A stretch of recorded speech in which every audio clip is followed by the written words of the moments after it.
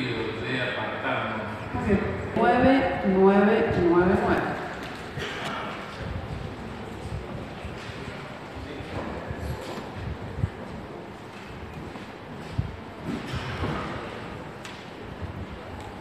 Autorizando al Instituto Provincial de la Vivienda a afectar los fondos de recuperación que surgen de la aplicación de la ¿Algún senador? ¿Senador ¿Usted va a hacer uso para? Sí.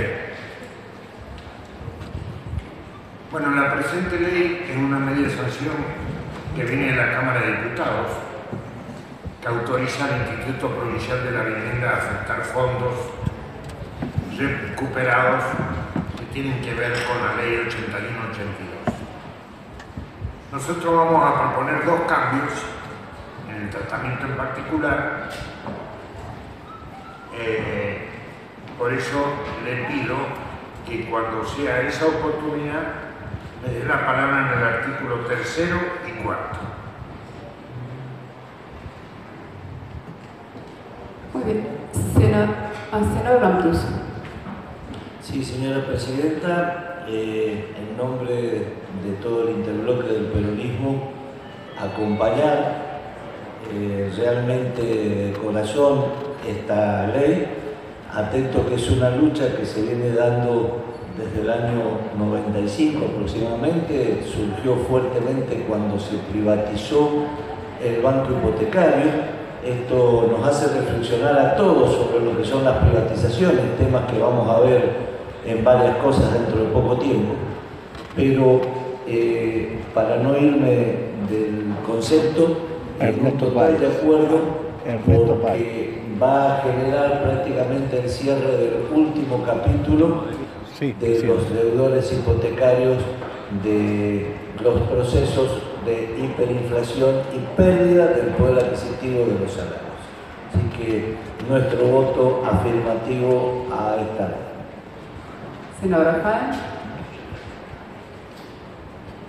Solo eh, dar las gracias a, un luchador como Ernesto Páez, que lleva años y años y años en esta lucha, y decirle que, bueno, gracias a ella su tenacidad, hoy va a haber concretado, bueno, va a pasar a diputado nuevamente por esta modificación pero esperemos que ya vaya cerrando el ciclo y pueda descansar también Don Páez de esta lucha. Muchas gracias, señor presidente.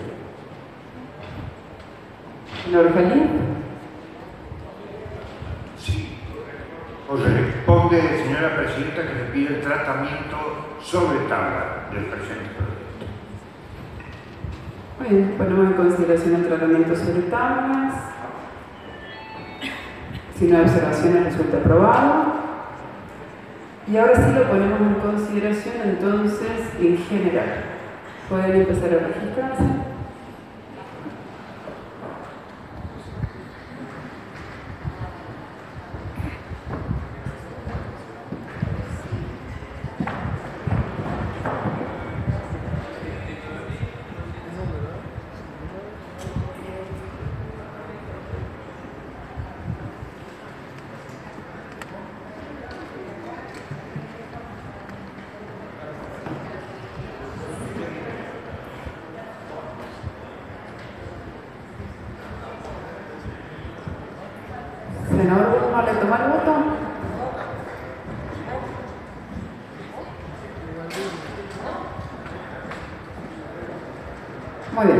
Por finalizar la votación.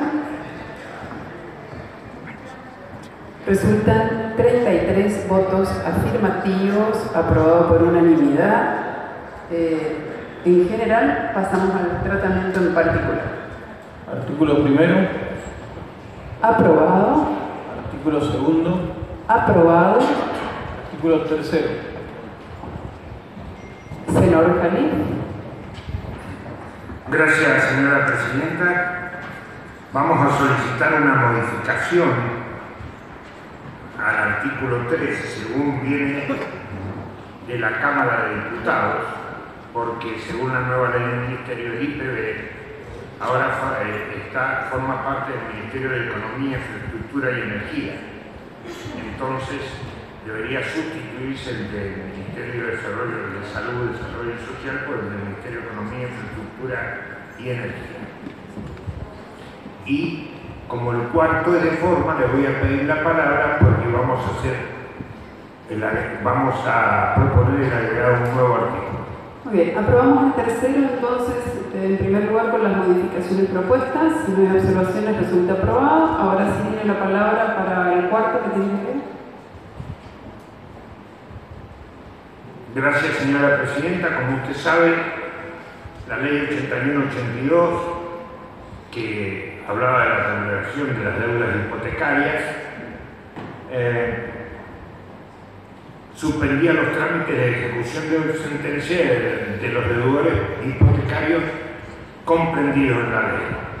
Así fue sucesivamente este, prorrogándose esto, esta suspensión en la ley 8424, en la 8518, en la 8566, la 8623, la 8761, la 8814 y ahora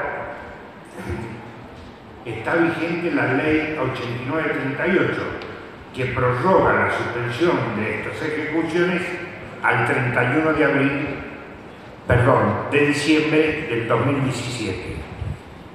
Eh, lo que proponemos ahora es incorporar como artículo 4 eh, la suspensión de este trámite de ejecución de sentencia